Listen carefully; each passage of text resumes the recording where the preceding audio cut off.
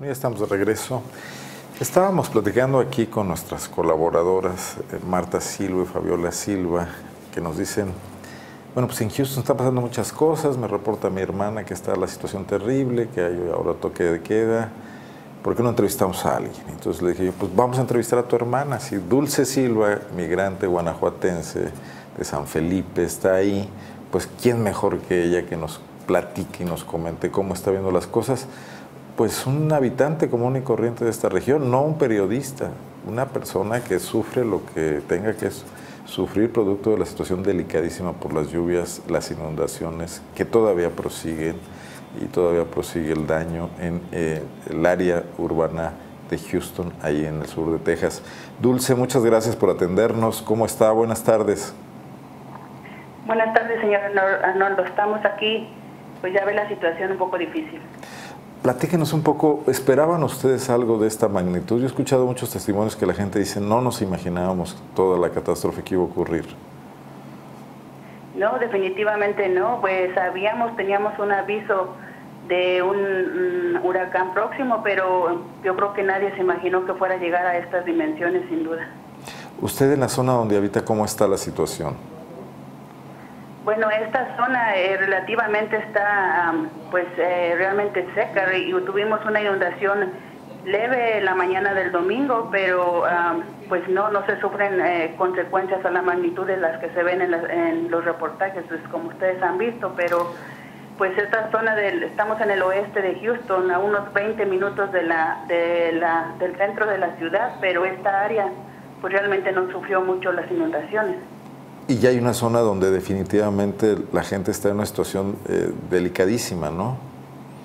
Sin duda, ¿no? ¿Usted conoce gente ahí? ¿Se han comunicado con usted amigos o, personas conocidas? Bueno, directamente tengo unas amistades que, que sí estuvieron, eh, no tienen mucho que adquirieron su casa, también son emigrantes eh, de, de México y habían adquirido su casa y pues eh, la zona quedó inundada y pues, tienen muchas pérdidas eh, realmente en su casa y pues es terrible, ¿no?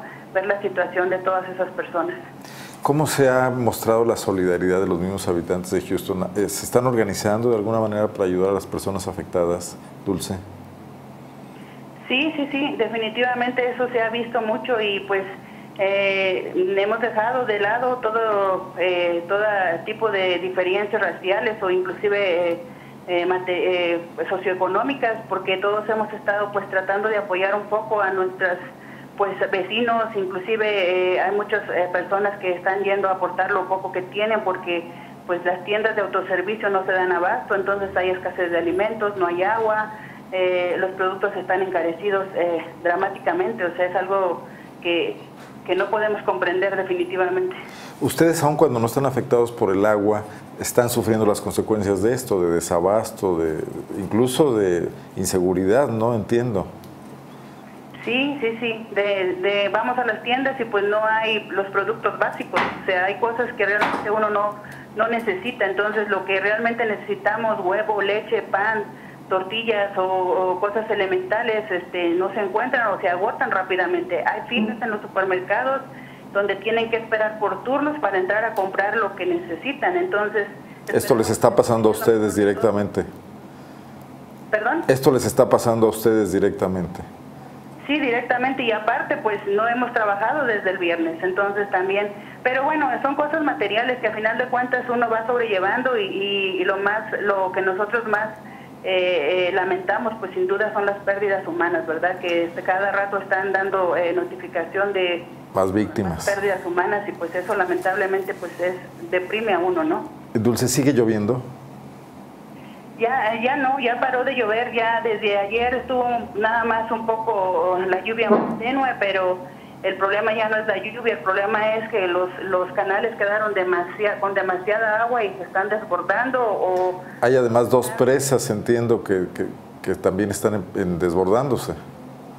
Sí, exactamente. Eh, algunas fueron, fueron desahogadas, eh, ¿cómo se dice? Eh, Previamente. ordenadamente. Ellos sí lo tuvieron control sobre ese desagüe, pero pero aún así pues afectó a muchas viviendas, aún cuando fue el desagüe controlado, pero Ahora hay muchas, muchos canales y, lagunas que sí se están desbordando sin control, entonces ese es el, ese es el, principal problema ahora, que ya no es la lluvia, lo que nos está inundando ahora son los las secuelas.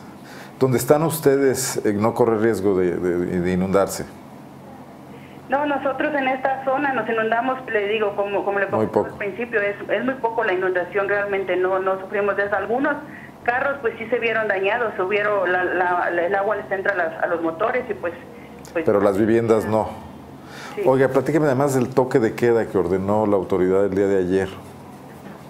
Sí, inicialmente se había ordenado el toque de queda para las 10 de la noche, que es relativamente temprano, porque pues muchas personas que, que sí pueden trabajar o inclusive están trabajando en los supermercados que necesitan estar ahí para poder dar servicio a la comunidad, pues no pueden regresar a esa hora, a las 10 de la noche, es muy temprano. Y lo recorrieron hasta las 12 de la noche. Pues esto es a consecuencia de que se ha estado mucho, dando mucho la delincuencia, o sea, algunas personas abusivas que, que aún no con este con todo esto lo que está pasando no se tientan el corazón y están asaltando. Tengo conocimiento de algunas personas que dicen que inclusive se están eh, vestidos de, de, policías tocando la puerta, que, que ofreciendo ayuda y al final se meten para atracar a las personas. ¿Y hay saqueos o esto todavía no, se ha presentado? Sí. sí, sí, hay saqueos algunas tiendas, sí. Eh, esto generalmente se se dio al principio cuando pasó toda la inundación, aprovechando que la policía anda ayudando a los rescates, pues algunas personas están haciendo esto, saqueando tiendas con, con el, con, según ellos, con la porque tienen necesidad, pero yo creo que eso no debe de hacerse, ¿verdad? Claro, debe haber orden para atender este tipo de cosas. ¿Ayuda internacional y de otros eh, estados norteamericanos está llegando? ¿Se sabe de esto? ¿Se ha comunicado? Sí, sí, estamos viendo que está llegando mucha mucha este, ayuda de los estados vecinos. Eh, inclusive y pues eh, eh, de rescate gente le, digo como aquí aquí no entra lo que es el aspecto racial yo creo que eso es mucha ayuda porque anda eh, es conocido mucho aquí las personas nativas de aquí los americanos ellos tienen lanchas por lo cerca que está aquí el mar entonces ellos mismos han andado rescatando personas también eh, eh, latinoamericanas que tienen la posibilidad de tener esos, esos medios. O sea, esto ha unido a la comunidad independientemente de diferencias raciales. Exacto, exacto. Y parece ser que también ha habido una tregua en las cuestiones migratorias, ¿no? Leíamos. Precisamente yo vi hace un momento en las noticias, este, estaba una conferencia con el gobernador del estado, Greg Abbott, y una, una periodista directamente le preguntaba que si se iba a postergar la aplicación de la SB4 eh, y él así directamente esquivó la respuesta a la pregunta, no quiso decir nada respecto a eso. Entonces se enfocó a dar detalles sobre otra cosa y pues yo la verdad no creo que haya ninguna ningún paro con todo eso, con todas esas eh, eh, restricciones que están poniendo. Aunque la ciudad de Houston emitió un, un tuit donde sí especificó que no se van a pedir documentos ni estatus migratorios en los albergues.